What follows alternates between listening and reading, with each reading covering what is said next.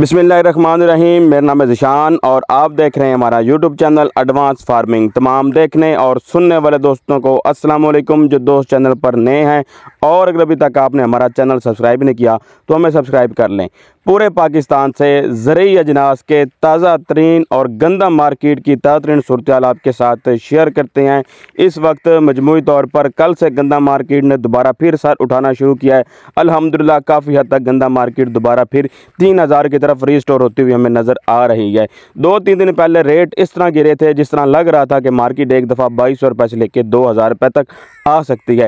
ابھی بھی ایسی سچویشن ایک دفعہ پھر بھی بن سکتی ہے، لیکن بہرحال اس وقت مجموعی طور پر گندہ مارکیٹ روزانہ کی بنیاد کے اوپر اب سو پچاس روپیہ انکریز کرتی جا رہی ہے۔ آج بھی گندہ مارکیٹ میں تیس سے لے کے اسی روپے تک مزید بہتری ہمیں نظر آئی۔ مارکیٹ کی بات کریں تو فیصل آباد کی فلور ملز نے بھی ریٹ جو ہے تقریباً دو سو روپے تک فلور ملز کے ریٹ میں مزید اضافہ ہو چکا ہے اور منڈیوں کے اندر بھی مجموعی طور پر گندم کے رائیول کا سلسلہ جو ہے دوبارہ پھر اب شروع ہو چکا ہے، زیادہ گندم آنا شروع ہو چکی ہے اور اس کے ساتھ ہی اگر دیکھا جائے تو مارکیٹ بھی بہتر ہونا شروع ہو چکی ہے۔ آج گندم کے ریٹ کی بات کریں تو جنوبی پنجاب کے اندر گندم مارکیٹ کم از کم چوبیس سو روپیہ اور زیادہ سے زیادہ بات کریں تو ستائیس سو روپے سے لے کے اٹھائیس سو روپے تک گندم فروخت ہوئی۔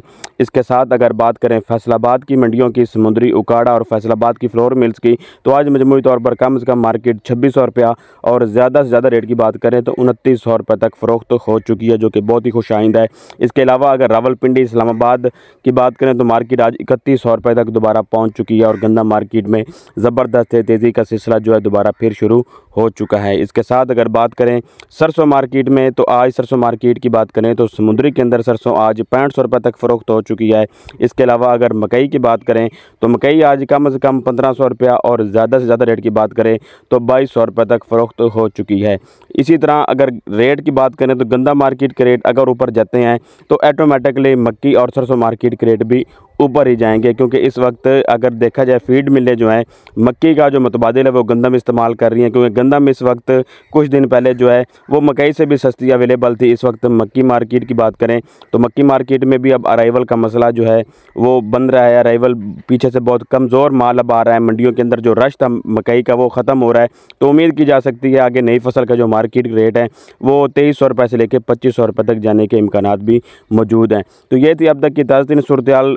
اجناس کے حوالے سے انشاءاللہ مزید نئی ویڈیو میں منجی کے ریٹ کے ساتھ اور گندم کے ریٹ کے ساتھ دوبارہ پھر آپ کی خدمت میں حاضر ہوں گے۔